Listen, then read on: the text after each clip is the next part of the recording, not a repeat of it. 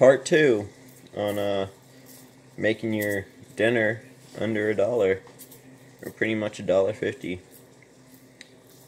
I use this stuff on my uh, deer, whatever. It is so good. Smoked, only add a little bit of it. So good. It's only like a dollar fifty, a dollar for this. Yeah. So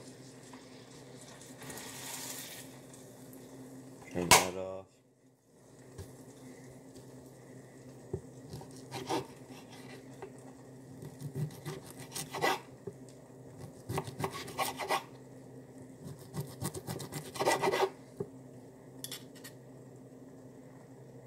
That's how I like it.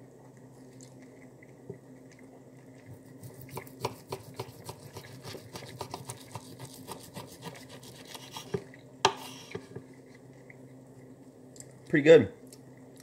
Not too bad. Could add a little bit more. Freaking, uh, some of that seasoning. But, uh, other than that, I like it.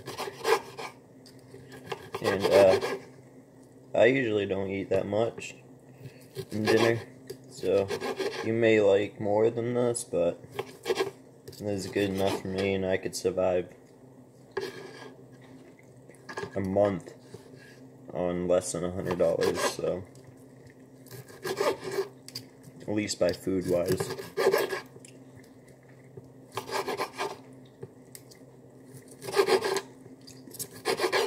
Deer is a good meat, it's healthy. You don't got to worry about all the hormones or anything else. It's just you and the deer. Mm.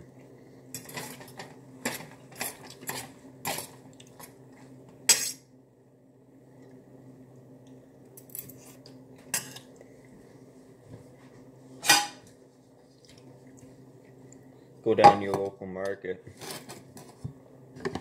Pick up some of that Roni. It's so good. Perfect combination. Check that out.